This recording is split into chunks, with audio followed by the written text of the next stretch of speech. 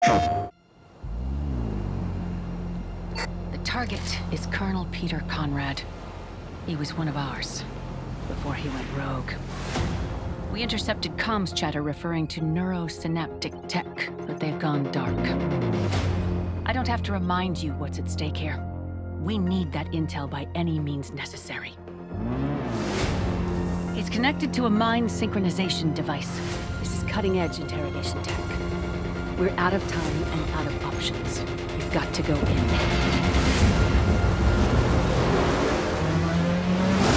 Ah, yet another lamb to the slaughter. Well, come on then. Let's see what you're made of.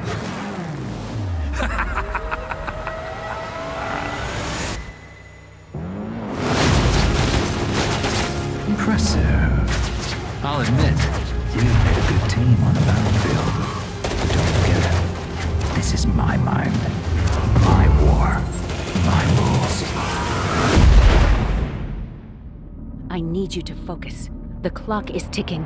You have to adapt. Back again? Pathetic! Your heroics mean nothing! You're getting close. You're approaching the center of his subconscious. You think you're a threat to me?